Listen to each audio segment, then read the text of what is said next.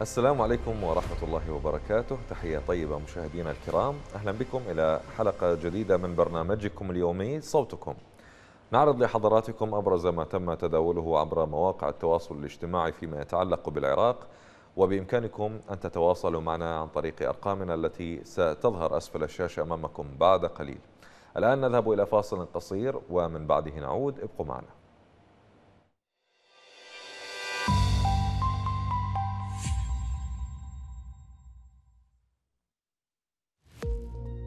نلفت عناية السادة المشاهدين الكرام إلى أن قناة الرافدين تبث على القمر توركسات 3A وفق التردد 12729 عمودي. لذا يمكن للمشاهدين الكرام في الدول الأوروبية التقاط بث الرافدين على قمر توركسات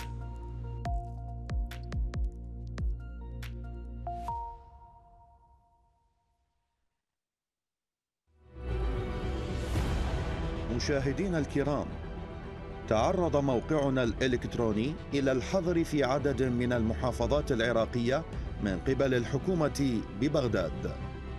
ولمن يود تصفح الموقع وتجاوز هذا الحظر يرجى اتباع ما يلي. تنصيب أحد تطبيقات VPN للمتصفحين من الهاتف المحمول من متجر Google Play أو من متجر App Store وبحسب نوعية الجهاز. تنصيب برنامج في بي ان للمتصفحين من أجهزة الكمبيوتر لجميع الأنظمة.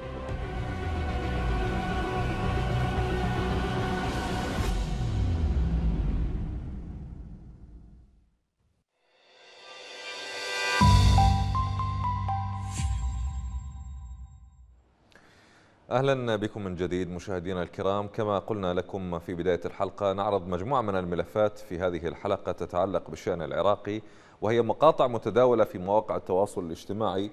تم رصد جزء من ما هو منتشر الآن في هذه المنصات الإلكترونية. لكن دعونا الآن نبدأ من أول موضوع لدينا مشاهدينا الكرام وهو آه، موضوع المعتقلين وأوضاع المعتقلين الصعبة داخل السجون الحكومية في العراق. في شهادة لوالدة أحد المعتقلين في سجن التاجي أربعة أكدت والدة المعتقل انقطاع أخبار ابنها المعتقل عقب آخر زيارة لها في شهر شباط الماضي وفي كل مرة تحاول أن تزور ابنها يجري تأجيل الزيارة بشكل مستغرب. تكرر هذا الموضوع بشكل مستمر وهناك أنباء وصلتها عن وفيات بالسجن نتيجة الإهمال الطبي. فدعونا نستمع الآن إلى شهادتها. السلام عليكم. أنا ابني مسجون بتاجي أربعة. من 17 آه، 2 رحت لآخر مرة شفته بها. لحد الآن أربعة أشهر صار لي أنا ما شايفته كل ما أروح يعني أنا ولا شهر انقطعت. أروح يقولوا لي ابنك أكو مشاجرة صايرة و يعني اللي ابنها محجور قالوا لها ابنش محجور اللي ابنها متعور قالوا لها ابنش متعور. أنا ابني مو وياهم. ليش ما يتقولوا لي؟ ابني ما يطلع على الحاسبه محجور ولا دا يطلع مثلا مرحلي لغير مكان. أنا يعني آه، أروح كل شهر يخلوني أنتظر وبعدين يقولوا لي ابنش ما موجود. مو بيقولوا لي ابنش موجود. آخر مرة قلت له خالة شو انت يوم موجود يوم ما موجود ميت ابني؟ قولوا لي. جريح ابني قالوا لي محجور قالوا لي ليش الأمهات اللي ولدها محجورة واللي ولدها تقولوا لها شنو موضوع ابني؟ قال لي خاله هساني خليك وياي راح أدق عليهم. دق على الولد دق على التاج أربعة. وفتح لي المايك. قال لهم تاج أربعة السجين فلان موجود يومكم؟ قالوا له هذا ما موجود صار له هواي صار له أشهر ما موجود عندنا. زين أنا هنا وقفت عديالي إذا هو ما موجود ابني صار له هواي صار له صار له أربعة أشهر. خلونا نشوف بعض من التعليقات اللي وردت بشأن هذا الموضوع في فيسبوك. جهاد العالي يقول مع الأسف هذا حال البلد الله يكون بعونك ويصبرك. حسبي الله ونعم الوكيل على كل ظالم. علي يقول حجية أخذيها مني. نص سجناء التاجي جاي ينضربون بمرض السل. الله يكفينا شره ويشافي المرضى. اللي يتمرض بسجن التاجي ما ينطون عنا نشد يعني أخبار ولا يقولون مريض. حتى ما حد يتوسط ويدخلوا له علاج لأن جوا ما ينطوهم علاج لحد ما يموت. وسلموا الع... وسلموه لعائلته وإن شاء الله ابنك مو من المرضى. تعليق من حيدر الشمري يقول حسبنا الله ونعم الوكيل على كل ظالم الله يفرج عنه. عندنا تعليق أيضا من فاقد يقول والله ابن عمي متوفي بالتاجي ثلاثة بالتاجي ثلاثة شهور وما حد قال لنا ودافني بمقبرة محمد سكران. كانت هذه جزء من التعليقات مشاهدينا الكرام. معنا اتصال. سيد علي من الموصل تفضل يا علي. نعم السلام عليكم. وعليكم السلام ورحمة الله وبركاته. حياك الله سيد علي. مدى أفهمك؟ مدى أسمعك بشكل واضح؟ علي صوتك لو سمحت. بالنسبة للسجون أنا طبعا ما متابعه ما شفته للأسف. سيد علي صوتك مو واضح. حاطط شيء على الكما على المايك؟ إذا تريد تضم صوتك لو هو أكو مشكلة بالاتصال.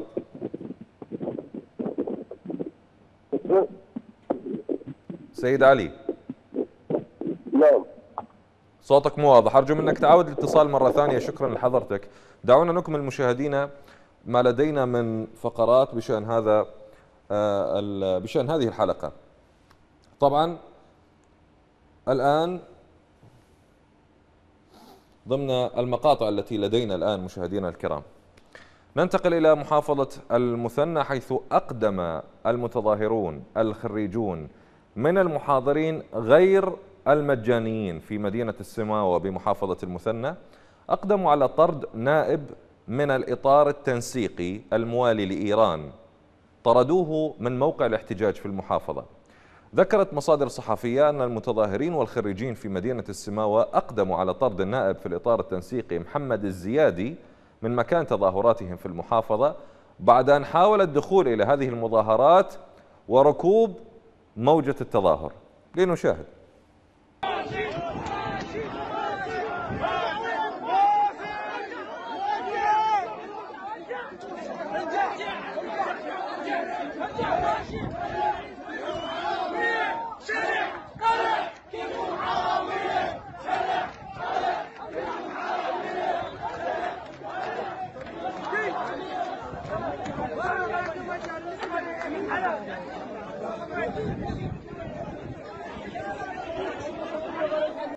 حقيقة أرغب بإعادة ال- المقطع مرة أخرى حتى تشاهدون وتتأكدون من ال- الحدث. نعيد اللقطة مشاهدينا الكرام ونعيد المقطع مع حضراتكم.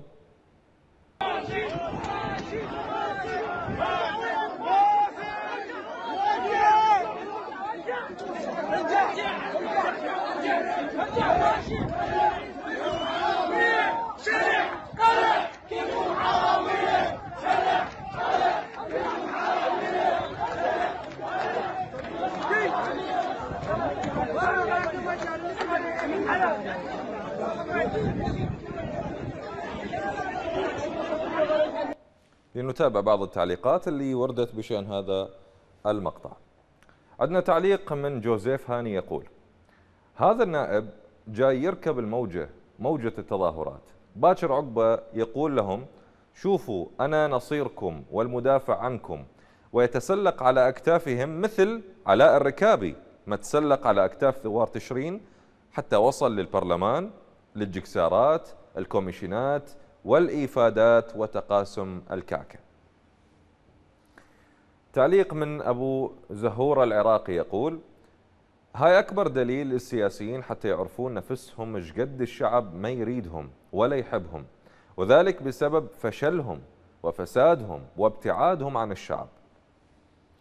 عندنا تعليق من المحامي محمود السعدي يقول تعرفون نفسكم ما مقبولين بالمجتمع على شنو تروحون؟ سؤال يوجه إلى هؤلاء. محمد الكعبي يقول بعد إيدي عمي منبوذين من الشعب. عيب عليكم ما عندكم كرامة؟ أيضا هو سؤال يطرح إلى هؤلاء الذين يحاولون تبني التظاهرات ركوب موجاتها. بعضهم حصل على منافع بسبب دعم السلطة له مثل علاء الركابي وجماعته اللي دخلوا إلى البرلمان بالتوك توك وخرجوا بالجكسارة ووقفوا بجانب الفاسدين والتقطوا الصور وقال بأن هذا الموضوع طبيعي. وكأن ال 800 شهيد وأكثر وأكثر من 30 ألف جريح بينهم خمسة ألاف معوق نتيجة القمع في ثورة تشرين. هذه الدماء التي سالت وكأن ثمنها كرسي برلماني ضمن مجموعة من الفاسدين. هذا ما يحاول الركابي وغير الركابي إيصاله إلى البعض بأن ثورة تشرين أفرزت هؤلاء. بعد هذا العذاب وهذا الموت والتظاهر والقمع تفرز مجموعة من المتسلقين المنتفعين. اللي وصلوا اليوم وجلسوا بجانب الفاسدين وما تغير شيء بالعراق.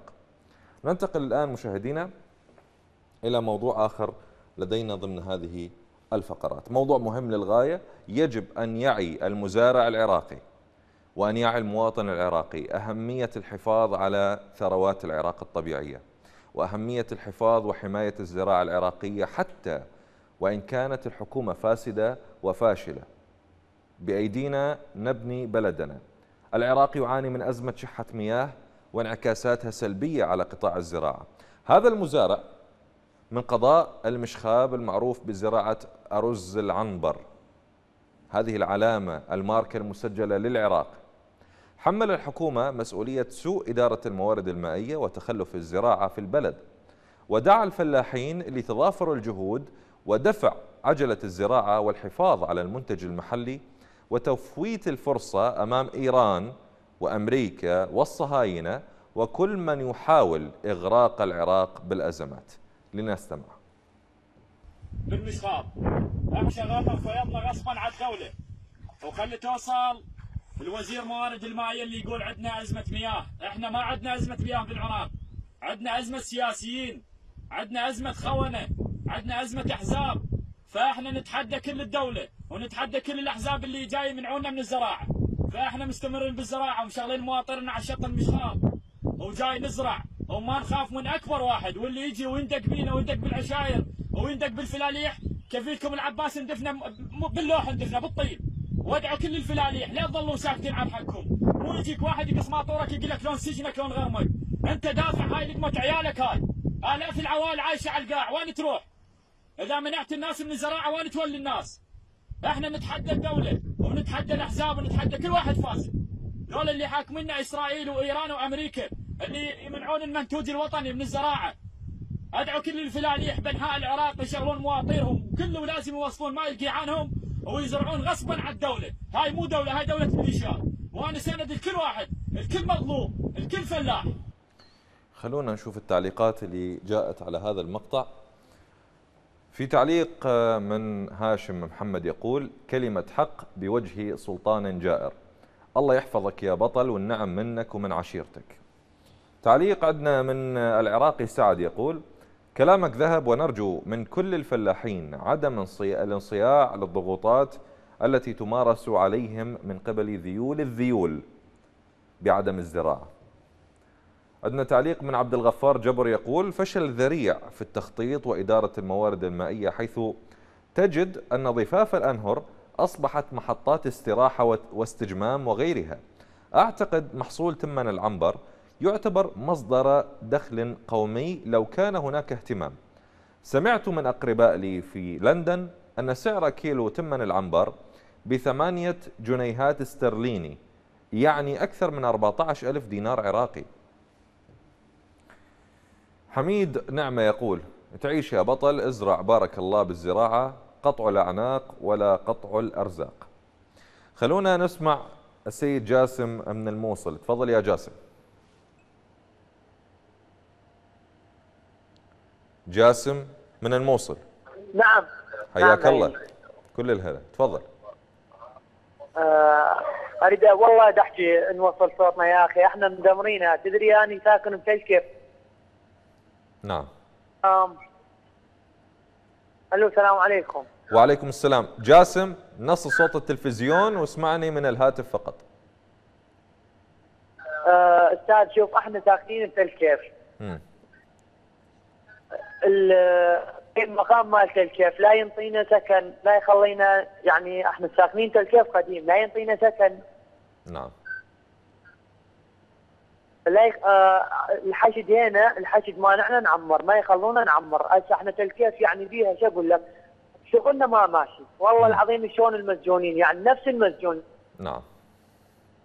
الحشد ما ما يخلي- يخليكم ما يخليكم تبنون. وترجعون لمناطقكم ما يخ أنا اريد اعمر بيتين غرفتين ما يخ ليش؟ شنو السبب؟ عم ما عمر واذا عمر يسجنون. شنو السبب؟ ما أدري شنو. جاسم. إي والله تعال جاسم شنو السبب؟ ليش ما يخليكم تعمرون بيوتكم؟ السبب ليش ما تنتخبون؟ يعني ليش ما انت ليش ما انتخبتوا؟ عجبني اني ما أريد اعطي صوت الأحد. جاسم بس بس اسمح لي اسمح لي. نص صوت التلفزيون لأن يصير صدى صوت ودا تسمعني متأخر وأسمعك متأخر. نص نص صوت التلفزيون. أه أستاذ جاسم جاسم جاسم؟ جاسم. نعم أسمعك أسمعك. نص صوت التلفزيون لو سمحت. تمام تمام. هاي نص للأخير للأخير لو سمحت. نصيابه نصيب فد مرة. طيب. جاسم أنت يقول لك ما تبني لأن أنت ما انتخبت ما شاركت بالانتخابات؟ أسمعك أسمعك. يقول شوف آه ما يخلونا نعمر إلا آه موافقتهم وموافقة ما ينطونا ليش ما انتخبتوا مرشحين؟ امم لا عاد هم مو يقولون هاي عملية ديمقراطية واللي يريد يشارك بكيفه واللي ما يريد بكيفه. هو آكو هو آكو كتاب يقول المواطن العراقي حق له ان يعمر بالجنوب وبالشمال. نعم. هم لا يخلونا لا بالجنوب ولا بالشمال. هسه أنا بتلكيف ما يخلوني اعمر بيتي غرفة تينكو أنا فقير دا أقول لك حاجة نعم. تعبانة نعم. يعني كلش. لو أنت تيجي على بيتنا لو أشوفك المقطع ادز لك إياه يمكن أنت تقول أنت مظلوم والله العظيم. مو بس أنا بانما أنا أريدك أريدك يا سيد جاسم إحنا عندنا عندنا رقم واتساب آه، نستقبل عليه إيه. التص... نستقبل عليه الفيديوهات الصور اللي عندكم. أرجو من حضرتك تدز لنا هاي المقاطع اللي أنت تسجلها توثق بها وضع بيتكم توثق بها المأساة اللي أنتم عايشيها. دزها على الرقم هسه نعرض شوف. نعرض الرقم بعد شوية خدمة أنت ترى. بس أنا اريد أنا أريد اسال أريد أسأل بالضبط منو الجهة؟ أنت قلت لي الحشد. الحشد أكو فصيل معين يعني لو هم كلهم على بعض؟ بابليون. بابليون. كاظميون. الكيف؟ طيب. سيد آه، سيد جاسم رحت اشتكيت للحكومة؟ اي هم المسيح رحت اشتكيت لجهة حكومية؟ عند القيم مقام. أخي أنا كل النواب رحت عليهم اي نايب أروح عليه ما يستقبلني. ما يستقبلك. يقول لي إيه وماكو كل شيء. تمام. شوف سيد جاسم أنا أشكر حضرتك. النواب شكرا جزيلا. راجع. نعم. أنا أريد منك مثل ما قلت لك إنه آه، ترسل لنا على خدمه أنت ترى. الرقم بعد شوية حيطلع.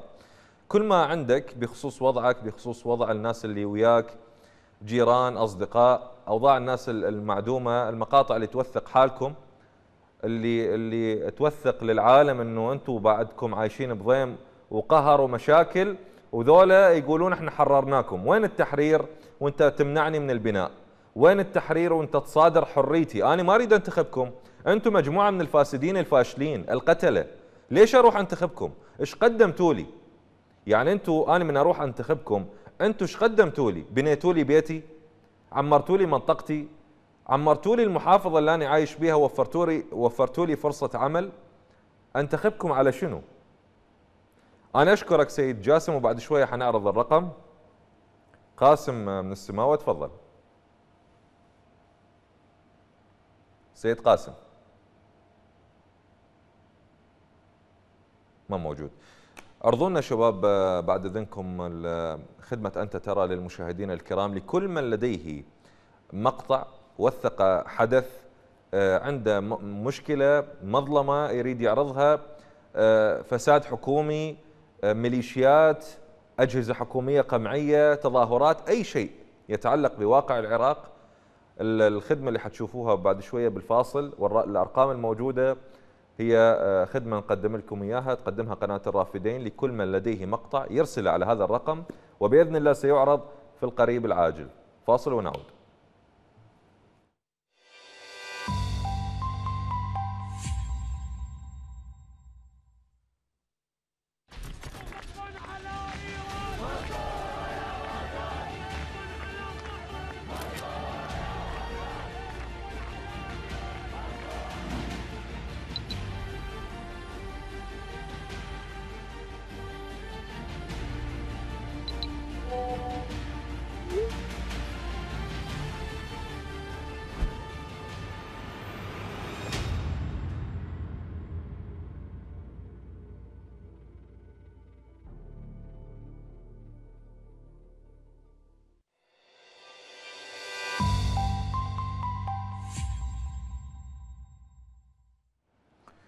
أهلا بكم من جديد مشاهدينا الكرام. أحد الإخوة على الواتساب يقول مساء الخير هل ممكن مشاركة عبر الواتساب؟ تحياتي. آه، أرسلت له أيضا آه، على الهواء أبلغ الجميع آه، بأن بإمكان حضراتكم المشاركة معنا عبر تطبيق الواتساب. اللي يريد يرسل رسالة مكتوبة يتفضل. واللي يرغب بالمشاركة بالاتصال للأسف هذه خدمة غير متاحة للاتصالات. اللي ما عنده رصيد يخابر إحنا نتصل به. اللي يحب يشارك فالأرقام موجودة أمامكم وبإمكانكم المشاركة. دعونا الآن نكمل مشاهدينا الكرام ما لدينا من فقرات تتعلق بالمقاطع المتداولة في مواقع التواصل الاجتماعي. هذا حقيقة مشهد مؤلم ويعني مصيبة من المصائب اللي عايش بها المواطن العراقي بشكل عام إن كان داخل العراق وإن كان خارج العراق. الفساد الحكومي في العراق لم يسلم منه أي قطاع بعد أن نخر بجميع جميع مؤسسات الدولة. وأصبح ظاهرة ترافق المواطن العراقي في حله وترحاله. اليوم أمس عرضنا مشكلة الخطوط الجوية العراقية في مطار صبيحة بمدينة إسطنبول ومعاناة المواطن العراقي. إحنا اليوم نعرض لحضراتكم أيضا مصيبة يواجهها المواطن العراقي خارج العراق وهو تحديدا الحاج العراقي. الحجاج في آه، آه، الديار المقدسة رحلوا ودفعوا مبلغا كبيرا في سبيل الحج. وطبعا المعروف للجميع أن تكاليف الحج غالية جدا عالية للجميع وليست باستطاعة الجميع حقيقة. يقدر ثمن الحج في العراق بحسب العراقيين بأكثر من ستة ملايين دينار عراقي وبالدولار ربما يتجاوز خمسة آلاف دولار للحاج الواحد. إذا ذهب شخص من أي دولة من العالم مسلم إلى الديار المقدسة في في فترة العمرة اللي هي السنة يعني سنة كاملة يدفع مبلغ من 800 إلى 1500 دولار ماكسيمم ويحصل على خدمات ممتازة من فنادق من طعام وغيرها. فما بالك بمن يدفع 6000 دينار 6000 أو 5000 دولار. الفكرة ليست بالمبلغ ولكن الفكرة كيفية التعامل. الجهات المشرفة على الحاج العراقي هيئة الحج بدل أن تقدم لهم الطعام الذي أولا يتناسب مع المبلغ المدفوع ثانيا يتناسب مع الجهد الذي يبذله يبذله الحاج في التعبد في الحركة في السير وما إلى ذلك وبالتالي هو يحتاج إلى طعام ليقتات ويسند نفسه. فما الذي قدمه العراق بلد الخيرات لمن دفعوا الدولارات. دعونا نشاهد كيف تعاملت هيئة الحج مع الحجاج العراقيين وكيف تم استبدال طعامهم بما هو أدنى. لنشاهد. أجي أنا الساعة اليوم أجي ثمان ورقات أحسن من اكلكم مليون مرة حجينا حجينا حجينا وين وين الدجاج؟ من هو هذا؟ يوم أنتم وين دور الدجاج؟ ليش حار ليش حار ليش حار؟ ما يموت وين الدجاج؟ وين الدجاج؟ وين بينك ما بين الله؟ لكن بينك ما بين بينك ما بين الله؟ أهل الهيئة المسؤولين اللي اجوا الشرفاء نفسهم وين الهيئة وين؟ قاسم قاسم ناس وين؟ الاحتجاج احتجوا ديني ابو الهيئه اعطينا ابو الهيئه وين؟ إحنا نروح نفطر عليه إحنا نفطر عليه باكر والله الله شاهد الله شاهد علي الله شاهد علي لا أنا ولا الحجاج راح ننزل المطعم ناكل استمعتم إلى الحديث وربما هناك من فاته ما ذكر أثناء هذا المقطع يقول أحد الحجاج إنه مكتوب بالورق بالكشف مكتوب دجاج الطعام ضمن الطعام دجاج. فأين الدجاج في هذه الوجبة؟ ويبلغهم القائم على الموضوع بأن عشاكم سيكون موزة قطعة موز فاكهة لكل حاج. تم استبدال الطعام بطريقة آه، تبين أن هناك سرقة وفساد. كما سرق العراق يسرق أيضا طعام الحجاج. بهذه الطريقة وللتأكيد الجهات المشرفة على الحجاج جهات عراقية ليست للمملكة العربية السعودية دور ودخل في قضية الدول التي تأتي بحجيجها والهيئات المشرفة. كل حملة دار وكل دولة هي ترعى حجاجها وتهتم بهم وفق ما دفعوا وأين سيسكنون وماذا سيأكلون. هي ليست هي بلد يفتح بابه لاستقبال الحجاج. نبدأ باستعراض بعض التعليقات. بشأن هذا الموضوع. وهاب يقول أو وهاب يقول وجبة العشاء ماكو. أنا رحت للحج سنة 2017 حتى دواء قليل. يعني هذه مو المرة الأولى. نشوف تعليق من هبة الله تقول. يأخذون ستة مليون ونصف من الحاج وهذا أكلهم؟ وين تروحون من الله؟ أمجد منذر يقول حتى هناك رحت وتبوقون لعنة الله عليكم. تاخذون من النفر ست ملايين ما أعرف أكثر. حش نعمة الله أكل براسه خير ما جايب. حسبي الله ونعم الوكيل عليكم. عندنا تعليق من سمير قال مجول الجبوري أو مجول الجبوري عذرا للنطق الخطأ إذا كان هناك. آه، يقول يعني بالحج وبيت الله الحرام وتبوقون أنتم شنو من بشر من ياطين مخلوقين؟ لا حول ولا قوة إلا بالله العلي العظيم. خلينا نشوف ونسمع سيد زكريا من ألمانيا. تفضل يا زكريا. السلام عليكم ورحمة الله وبركاته. وعليكم السلام ورحمة الله وبركاته. حياك الله. حبيبي الغالي تحياتي لكم جميعا. تحية تحية حار للشعب العراقي من زاخو للبحر. الله يسلمك. أنا حياك. كردي حبيبي تسلم لي أخوي الغالي. أنا كردي آه، بس ما ما أريد أنطي اسم المدينة. نعم. يا أخي هذا تاريخ العراق من أوله إلى هذا اليوم. مم. من قبل كنا نقول والله العراق كان صدام حسين هو خربه يا أخي هلا صدام حسين ماكو من صار له سنين صدام حسين ماكو مم. كم حكم اجى للحكم جلس على الكرسي ورا فترة شبع جيبه وراح الله الله وياه راح لامريكا اخذ له بيت نعم هسه ما علينا من, السياسة اسم السياسيين. علينا حال العراق حاليا اللي يمر في العراق من بغداد وبصره نعم. وزاخو وأربيل مم. سؤال سؤال يعني هذا يمكن أكثر العراقيين ما يعرفون هذا الشيء. نعم. لهاليوم الكردي يحكي يقول حلبشه أي. حلبجة صدام حسين ضرب الحلبجة زين. مين هو ضرب الحلبجة؟ إيران هو اللي ضربه. زين. مين جاب الجيش؟ خلاد الحلبجة؟ مم. جماعة الطالباني.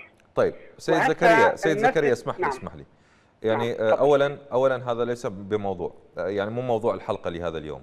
ولا يرتبط بأي نعم. موضوع طرحناه أنا أريد من حضرتك إذا كان عندك آه، رغبة بالمشاركة ب باللي بدنا نعرضه اليوم. لأنه تعرف حضرتك موضوع حلبشة وهذه القضايا تاريخيه صارت قبل 2003 ونقطة انتهت. إحنا اليوم بدنا نتكلم في 2003 وما بعدها.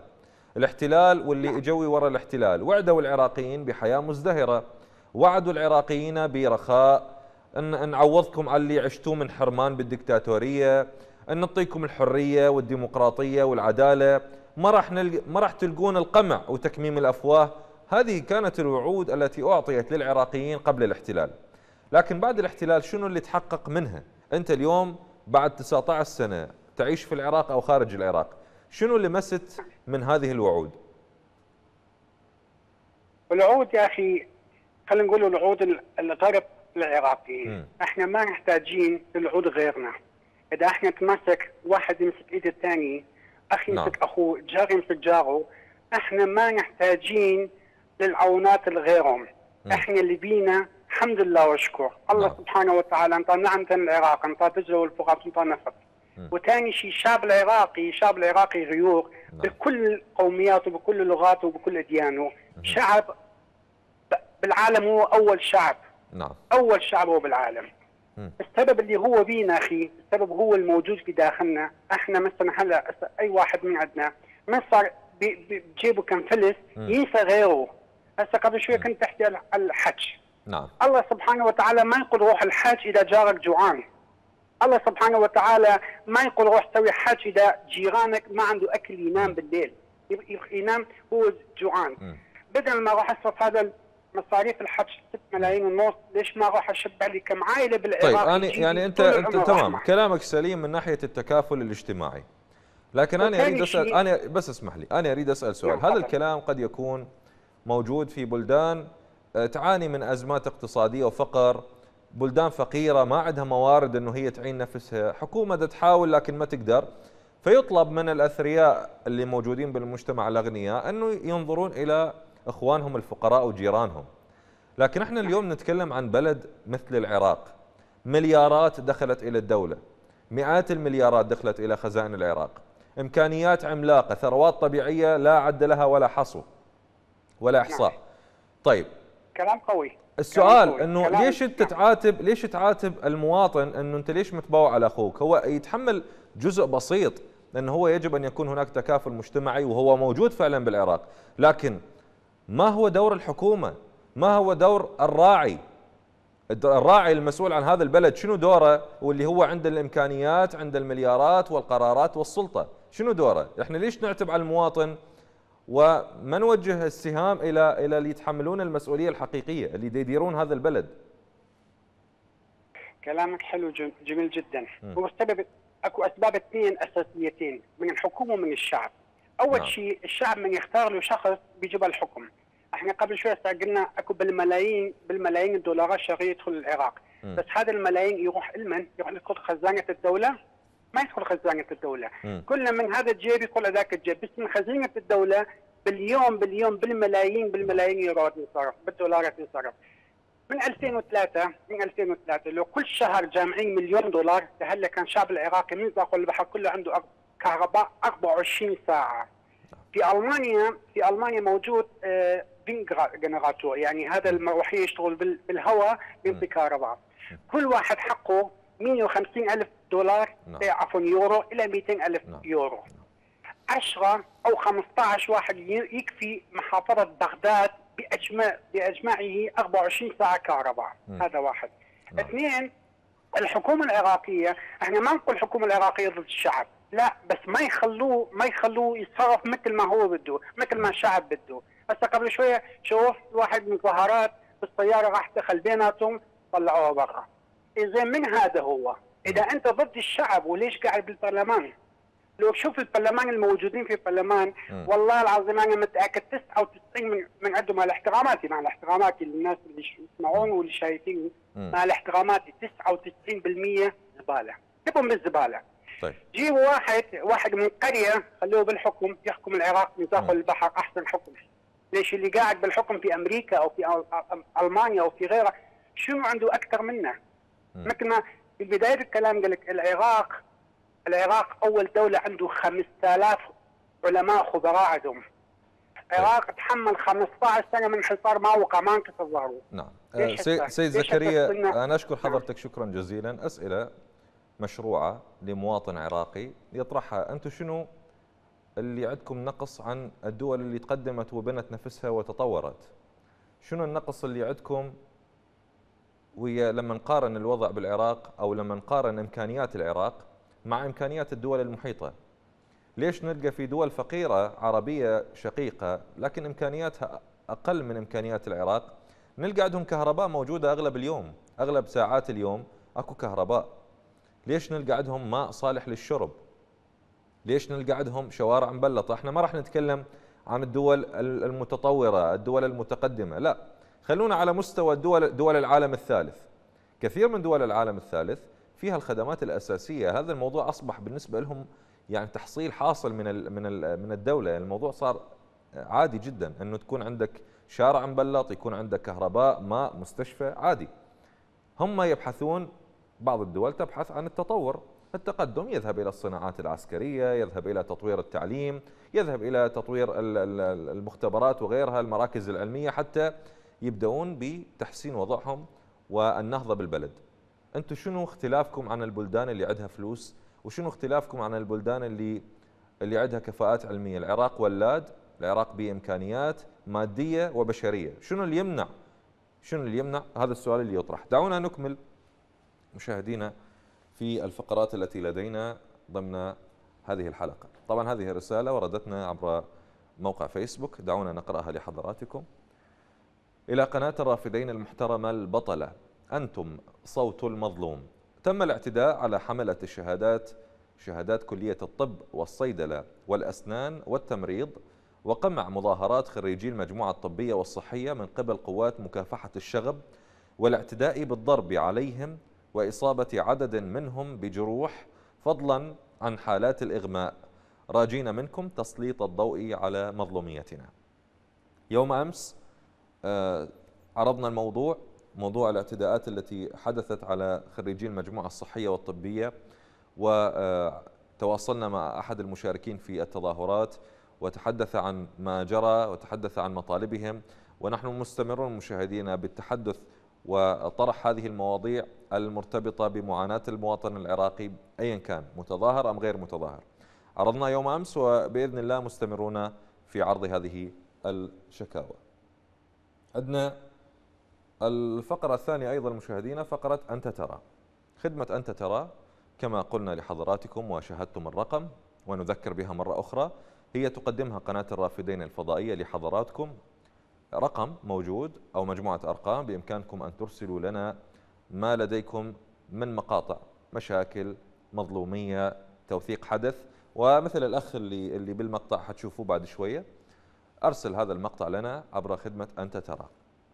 هذا مواطن من ناحية السدة بمحافظة بابل اشترى قطعة أرض من أحد المواطنين الساكنين في المنطقة عام 2006 الشخص اللي باع الأرض لهذا الشخص لهذا الرجل لديه علاقات وارتباطات بمتنفذين. بعد عدة خلافات بينهم وصل الأمر بنهاية المطاف إلى إبلاغ المواطن الظاهر أمامكم بالمقطع بأنه لا يمتلك السند القانوني للمنزل.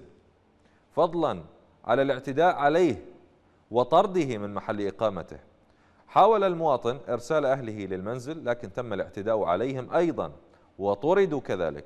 لنستمع الآن لشهادته التي تبين مزيجا من الفوضى القانونية والأمنية في العراق بعد عام 2003 لنستمع.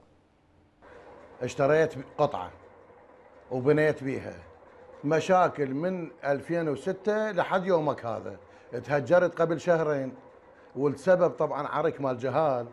وشوية تطور تطور إلى أن صار وصلون وصلونا لمرحله إنه يقول لك أنت أنت ما عندك بيت ما بيشتري من عندي. وللعلم أنا عندي هاي مكاتبة ببصمته وبصمة البائع. وبصمة أولادها. هاي المكاتبة تشهد عندي زين. وتالي بالنتيجة هم يقيمون علينا دعاوي ويوم يوم أنا قاعد بالحلة يوم قاعد بطويريج يوم بشيل مدري وين يوميا بمكان ويوميا الشرطة تركض وراي. أنا اناشد السيد رئيس الوزراء واناشد السيد فايق زيدان واناشد السيد وزير الداخلية المحترمين. أن يشوفون حل قضيتي أنا عندي 16 نفر إلى متى أظل هالشكل اني إلى متى اظل يوميا ببيت وتركض وراي الشرطه أنا رجال عمري 60 سنة يتهمني بسرقة يتهم ابني 13 سنة عمره بسرقة. أجي أجي كنت قاعد بجبلة أجي من جبلة أجي للسدة. مسافة 80 أو 80 70 كيلو متر أجي أبوق له ب 15000 دينار. والقضاء يشكي علي. أنا مهجر من بيتي. صار اعتداء على زوجتي. أراض بيتي كلها تفرهدت وباقت. وللعلم هو هسه قافل بيتي بزناجيل. زين أنا وين أروح اني؟ الآن مشاهدينا نستمع إلى السيد كامل من بغداد. تفضل يا كامل. السيد كامل من بغداد موجود؟ كامل من بغداد. ما موجود يبدو. أحد المشاركين الأخ زكريا لا الأخ علي من الموصل أعتقد علي من الموصل. تحدث عن ميليشيا كانت آه، آه، تمنعهم من العودة إلى مناطقهم أو جاسم يمكن من الموصل. آه، تمنعهم من العودة إلى مناطقهم ومن إعادة بناء مناطقهم. وذكر اسم الميليشيا حقيقة أنا سمعت غلط. هي ميليشيا بابليون. ميليشيا بابليون التابعة لما يسمى بالحشد الشعبي. آه هذه الميليشيا مجموعة من الميليشيات طبعا تسيطر على سهل نينوى وبابليون وتسيطر على آه مدينة الموصل آه يعني جزء هي على مدينة الموصل. هناك ليس فقط عملية منع الناس من إعادة إعمار مناطقهم هناك قمع هناك آه، مكاتب آه، آه، مكاتب اقتصادية ل يعني فرض النفس أو فرض الجهات الحاملة للسلاح نفسها على من يريد البناء من لديه أموال من لديه مشروع تشارك بهذه الأمور. بالقوة. آه، يعني عملية سيطرة غير قانونية ضمن ما يعرف بهذه الفوضى الأمنية التي يعيشها العراق. وكل هؤلاء كل هؤلاء وفق القانون الذي شرعه البرلمان أو القرار اللي آه، أقر البرلمان بضمهم ضمن الجهات الرسمية وأصبحوا تابعين للقائد العام للقوات المسلحة. يعني هذا فعل دولة. هذا بالنهاية فعل دولة. هم يقولون إحنا تابعين للدولة وتابعين للقائد العام للقوات المسلحة. إذا الدولة تتحمل مسؤولية منع هذا الشخص وغيره من العودة إلى مناطقهم من إعادة إعمار مناطقهم منعهم من العيش حياة بعيدة عن المشاكل حياة هادئة. الحكومة تتحمل مسؤوليتها. طالما بأن هؤلاء يتبعون لها إذا هي تتحمل مسؤولية ما يحدث من انتهاكات وجرائم ترتكبها هذه الميليشيات. عندنا رسالة من أحد المشاركين هو أبو يوسف من دنمارك. آه، حقيقة أرسل لنا رسالة على الواتساب يقول تحية أستاذ محمد هناك أفكار ومشاريع ممكن أن تقام بالعراق لدعم الثروة المائية والأنهار. يمكن أن تغني العراق عن الاعتماد على الأنهار القادمة من إيران وكذلك قلة المياه القادمة من تركيا. وإحياء الزراعة والقضاء على التصحر ونسبة الملوحة العالية. كنا نتأمل أن تكون هناك حكومة وطنية آه، تقدر أن آه، نقدر أن نشتغل معها يتحدث عن نفسه نقدر أن نشتغل معها لإصلاح الوضع الزراعي بس مع الأسف الحكومة هي من تحارب الفلاح العراقي. تحياتي أبو يوسف من الدنمارك آه، أحد المشاركين يقول شكرا جزيلا على قناتكم الجميلة والشكر لجميع طاقم قناة الرافدين. فردا فردا. آه، وأشكر كل من فكر يوصل بث مباشر إلى العالم. دمتم لتقديم للتقدم. بعون الله تعالى إن شاء الله مني لكم تحية والسلام ومزيدا من الاحترام. شكرا أيضا جزيلا للأخ آه، المرسل. طبعا موضوع المياه مشاهدينا الكرام اللي تفضل به أبو يوسف من الدنمارك. بالفعل هناك حلول كثيرة. ولو كانت هناك إرادة آه، سياسية حقيقية وشخصية لهذه الدولة التي ضاعت بعد عام 2003 لتحركت الجهات الحكومية ودولت القضية واستطاعت أن تحصل على حقوقها. اليوم لما ننظر إلى ونقارن طبعا ونشوف بأن دولة مثل مصر آه، أزمة السد النهضة مع أثيوبيا وأزمة المياه موضوع آه، خط أحمر لأنه يمس حياة الناس بالنهاية بغض النظر بغض النظر عن طبيعة الحاكم لكن في النهاية هناك ملفات لا يمكن التهاون بها لأنها ملفات تدمر البلد. الموضوع ما راح يمس حياة البشر فقط. يمس الأرض يمس الحيوانات يمس كل ما يمكن أن يعتمد على المياه. بالعراق لا الموضوع مبيوع بيعا يعني بالجملة. إلى الدول المحيطة الموضوع تنازل عن حقوق العراق سكوت عن ما تفعله إيران من قطع آه، مجاري الأنهر وتحويلها. يعني وزير الموارد المائية تحدث وقال بأنه إيران تقطع إمدادات المياه بشكل تام عن العراق وتقوم بتحويل مجاري الأنهر داخل الأراضي الإيرانية. وسندول القضية. هذا الموضوع من عام 2021 شهر السابع. إلى اليوم إلى اليوم لم تدول قضية المياه مع إيران. لم يتحرك الجانب العراقي بشكل رسمي تجاه إيران. والشكوى في مجتمع الدولي ولدى مجلس الأمن على ما تفعله إيران من انتهاك للاتفاقيات الدولية وقطع نسبة تقدر ب 18% من من حصة العراق المائية عن العراق. 18% أدت إلى تصحر مناطق كبيرة في محافظة ديالى وغير ديالى جنوب العراق تأثرت مناطق بسبب قطع المياه وإطلاق الألسنة الملحية اللي رفعت من نسبة الملوحة ودمرت الثروة أو دمرت الحياة الموجودة في تلك المناطق. تركيا في المقابل هناك اتفاقيات وبحسب وزير الموارد المائية فإنه يثمن الدور التركي بالتعاون مع الجانب العراقي والتفاهم والجلوس على طاولة حوار عندما يستوجب الموضوع. لكن إيران تمتنع عن الحضور تتهرب من اللقاءات التي يدعوها العراق إليها أحيانا وأيضا تمعن بالانتهاكات. قطع مياه بشكل تام هو خرق